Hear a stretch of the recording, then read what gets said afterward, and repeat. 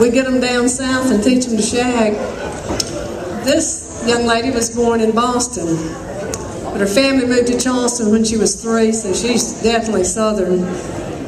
She'd go back up north during the summer when she was around 15 and hop a train to Boston, go to Philly, or in Boston, go to Philly.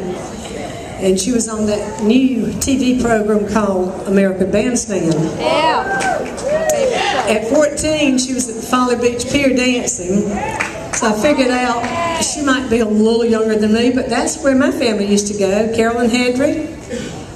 And um, it was a good place to go and dance too. During high school, she would sneak out to dance at hot spots like Seaside, Merchant Seaman, and other hangouts. She danced all over Atlanta when her job moved her down there, and she danced competitive some. She's boogied all over North and South Carolina. She still works, still traveling around boogieing. But she's at OD, it's her second home. She's a great little dancer, and you always know that she usually has a pocketbook hanging over her shoulder. I guess she thinks she's going to steal her money. Would Leslie Cohen please come on down?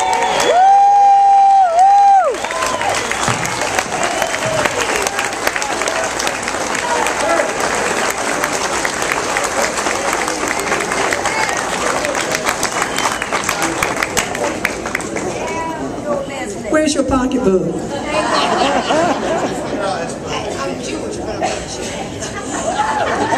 She's Yes, Jewish, she but she's is. not cheap. Yes, she is. Uh, this is going to be brief because I need a nap. I know.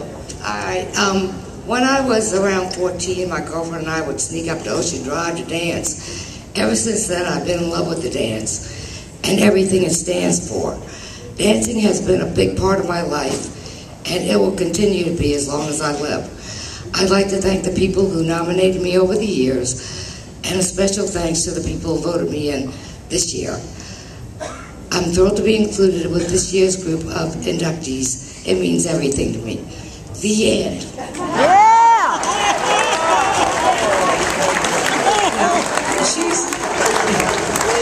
She's with three men, I believe. Joe Skinner's gonna come out first. Zach Smith is gonna come in, and Buzz. If Buzz is able to dance, he's gonna come out and dance with him. We never know with Buzz. Here's Joe Skinner out here.